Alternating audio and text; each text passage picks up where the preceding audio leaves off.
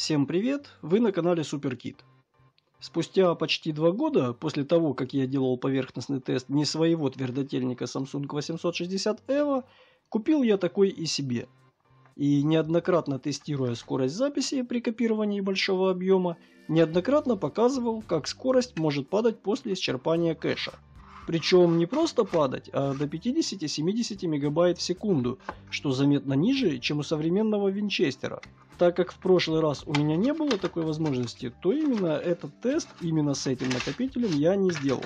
Вот теперь, после покупки, мне это интересно посмотреть у далеко не самого дешевого аппарата емкостью в 1 терабайт.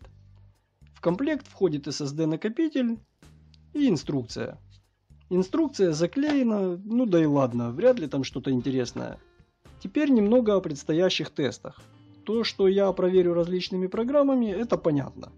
Но главный показатель, реальное значение которого от нас скрывают более быстрой памятью, можно проверить с помощью длительной записи. Для этого нужен источник, скорость чтения которого будет гарантированно иметь скорость не ниже скорости записи тестируемого SSD. Таковым будет мой другой SSD Samsung. Это M2 с интерфейсом подключения PCI Express.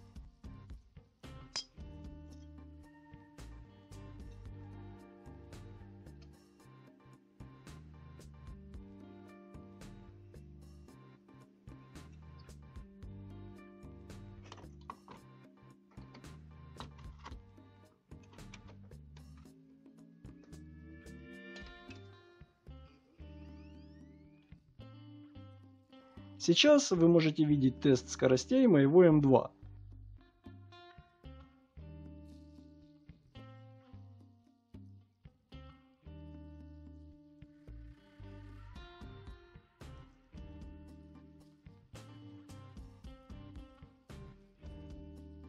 Сам твердотельник пуст, поэтому предварительно я его заполню под завязку.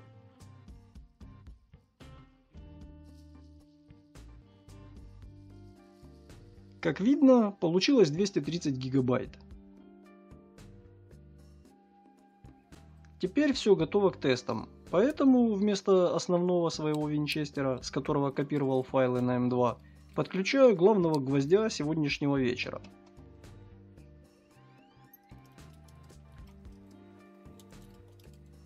В биосе видится без проблем.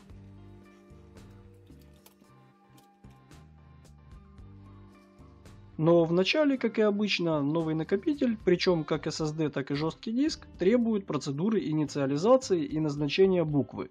После чего выбираю файловую систему при создании тома и... Вот теперь диск отображается в проводнике. Я не знаю почему, но реально у большого процента людей вызывает ступор тот факт, что новый диск из коробки не видится системой при первом подключении. После форматирования емкость становится 931 гигабайт. Это нормальное значение для объявленной емкости в 1 терабайт. Crystal Disk Info показывает 0 часов работы и пару тестовых включений. Аналогичные значения показывает SSD Live. HDTune показывает стабильные 500 с плюсом мегабайт в секунду на чтение –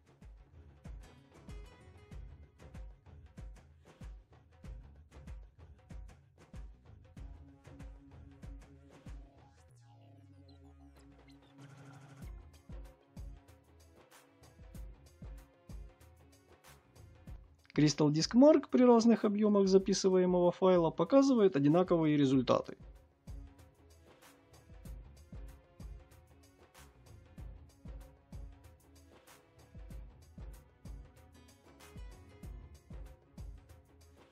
Smart Victory и начало теста поверхности. Такой тест не особо актуален для SSD, но тем не менее тенденция видна программе от самого Samsung видно целое семейство накопителей из разных эпох. Здесь и Winchester, и SATA SSD, и NVMe SSD.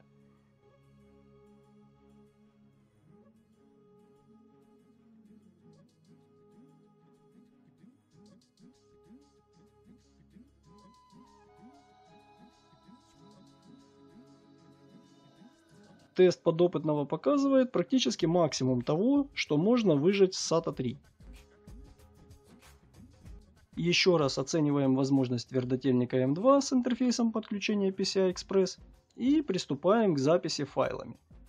Каждый файл более 4 гигабайт. Самих файлов сразу записано 230 гигабайт.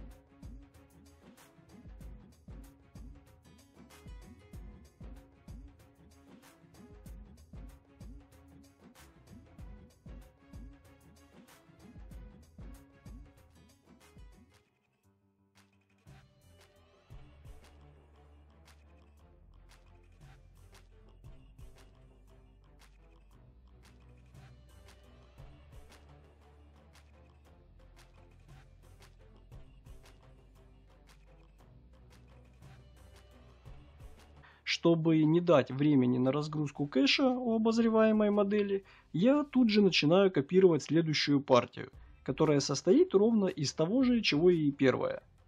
Много файлов, каждый из которых более 4 гигабайт. Вот уже почти записана вторая партия, а это значит, что SATA SSD практически заполнен на 50%. Перометром я могу нащупать только такую температуру. Я понимаю, что корпус не касается платы, распаянного на ней контроллера и чипов памяти. Поэтому это не совсем правильно так оценивать, но хотя бы температуру корпуса можно узнать.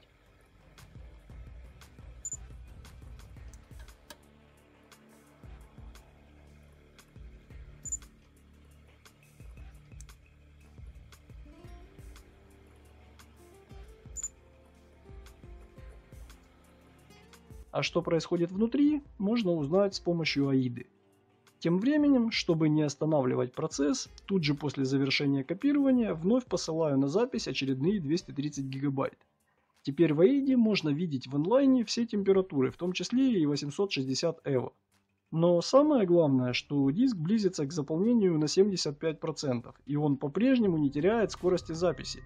Сравните эти величины, особенно учитывая объем записанного, например, с тестом SSD Team из появившейся подсказки.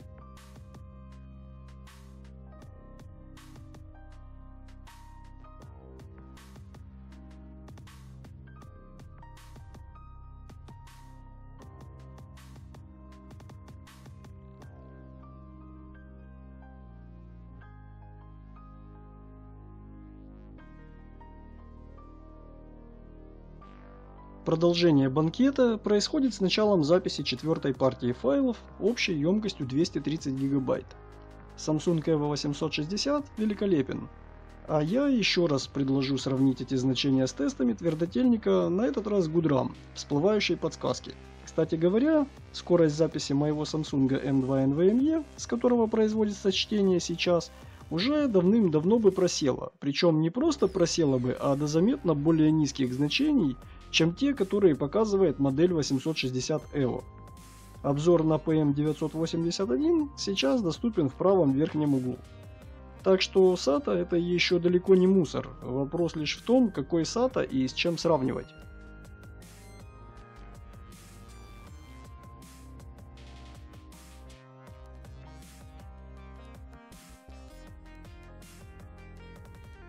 Ну что же, запись завершилась, диск заполнен фактически полностью. Осталось лишь 7 гигабайт. Соответствующую информацию о прокачанном трафике уже отображают программы, которые за этим следят. Данная модель гарантированно предполагает 600 терабайт записи. Это число плавает, 600 это именно гарантированно. Поскольку твердотельный накопитель ровно на 1 терабайт, то нетрудно сосчитать, что это 600 циклов записи. Но вполне может оказаться, что этих циклов будет не 600, а, например, 1000. Так или иначе, но это огромные величины.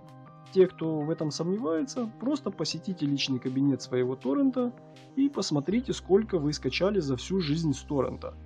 Даже если что-то было неучтенное, то умножьте для самоуспокоения это значение на 10, и это все равно будет намного меньше, чем 600 терабайт. На момент моей покупки модели 860 EVO только-только появилась в продаже модель 870 EVO. там другой контроллер, меньше вес, скорее всего вызванный меньшим количеством более емких чипов памяти. Он тоже Samsung. Может. Но я ему не верю. Скорее всего, он тоже будет крут, но 860 EVO уже проверенный вариант, поэтому я остановился на нем. С таким твердотельником я чувствую себя царем.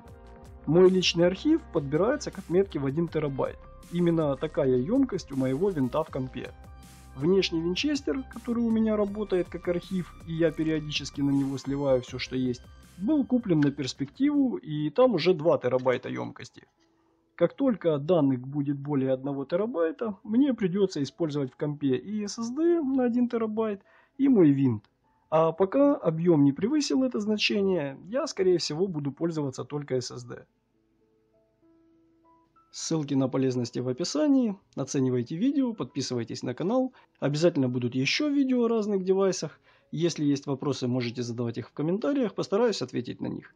Всем спасибо и до новых встреч!